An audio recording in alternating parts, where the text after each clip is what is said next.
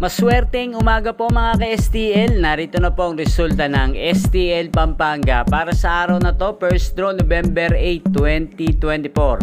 Araw ng biyernes, naway ang mga natayaan nyo pong mga numero kanina ay manalo nawa ngayong umagang ito. 11am kaya kunin nyo na po ang inyong mga tickets. Narito na po ang resulta.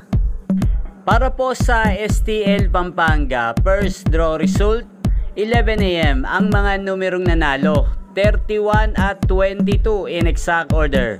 Sa lahat po ng tumaya kanina para sa first draw ng 31 at 22, congrats po sa inyo. Panalo po kayo. Again, 31 at 22 in exact order.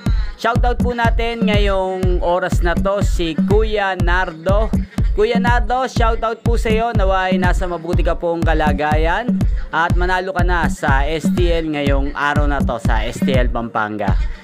Ayan, inyo pong napanood ang resulta ng STL Pampanga sa channel na to, Roderick Hernandez TV. Maraming maraming salamat po sa patuloy niyo pong pagsuporta sa aking channel. Thank you for watching.